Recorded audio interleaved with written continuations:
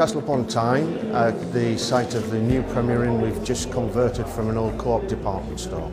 This has been a fantastic project for us. It's really raised our profile within the region.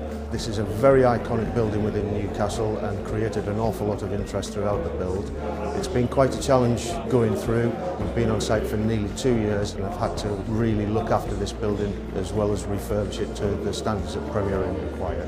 when we first found out that it was getting developed into a Premier Inn within the city centre, I was thrilled and delighted. And for the last two years, seeing the project develop, looking at all the features that have been uncovered, the heritage of the building, the listed features that have been retained in it, walking around, looking at it now, seeing what's been done and the work that's been done, the way things have been incorporated within the Premier Inn building, it just looks stunning. When we were doing the refurbishment, we came across a war memorial that had the names of co-op staff that had died in the First and Second World Wars, and we are re-commemorating that plaque today with the aid of the local community and premiering themselves.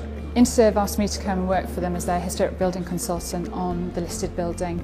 There was a lot of work to do, a lot of changes that needed to be made, and we needed to understand what was significant and very special about this building in order to make sure we retained that and kept what was important, but also managed the change through to the new use for Premier Inn. Some particular interests of this building are that the fact that it was a Grade 2 listed Art Deco building built in the 20s and 30s. There were some very prominent features on the building that we've managed to restore and bring back to life. Those are the barometer and the clocks on the two towers, the running men which are quite iconic for this building and a large cast iron arcade we uncovered during the demolition that we've carefully taken down, had restored by the original manufacturers of them and have put them back in place and they look absolutely fantastic.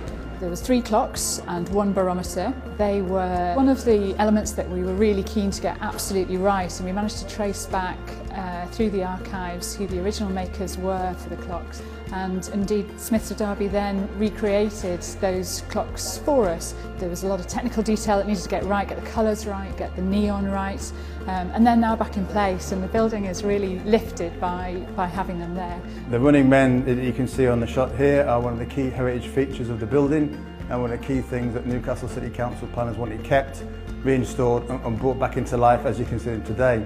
Cooperative uh, motif is uh, time and labour which is what these little guys are doing on this handrail here. And we've actually got it installed by a local company called John Ainsley's, whose grandfather actually installed these back in the 1930s. We probably saved half of them. The other half of them, uh, unfortunately, were either stolen, broken over the years that the building wasn't in use. And we've had the other sort of 50% of them brought back and recast at a, a foundry down in Bradford. And the heritage guys are absolutely over the moon with the fact that it's back in use as it is today.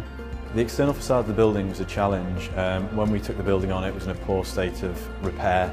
Um, it hadn't been maintained for, for a lot of years, so we erected scaffolding to the full height of the building. In conjunction with Newcastle City Council's Heritage Department, undertook a careful um, restoration of the external stonework, the external windows, and you'll see on the externals there is a band of colour that now goes along the whole of the Newgate Street facade.